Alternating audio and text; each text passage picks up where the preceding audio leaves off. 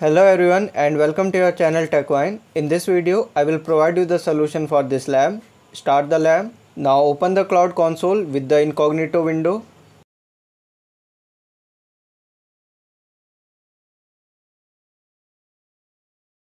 And once you are logged into the console, open the Cloud Shell.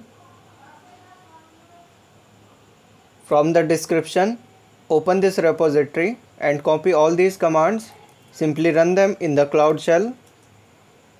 Click Authorize. Now for the numeric value, you can choose 10 and hit enter. Provide your confirmation, type Y and hit enter. Please note whenever you are asked for the confirmation, simply type Y then hit enter.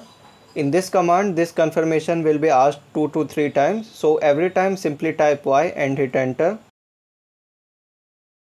type Y and hit enter.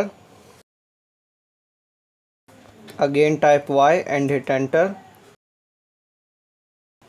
Okay now minimize the cloud shell and search for identity aware proxy. Open this.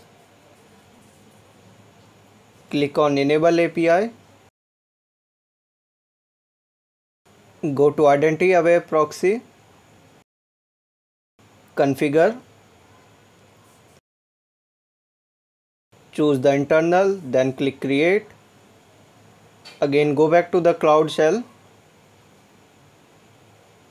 And you will get this app name IAP example. Carefully copy it and paste it. For the user support email choose the student. Scroll down. For the application home page copy this paste it then copy the next one for the application privacy paste it copy the domain click on this add domain then simply paste it. For the email address you can choose this one click save and continue. Scroll down save and continue. Now go back to the dashboard. If you will go back to your previous tab and click on this refresh you will see this toggle button. Click on it. Turn on. Now select this checkbox.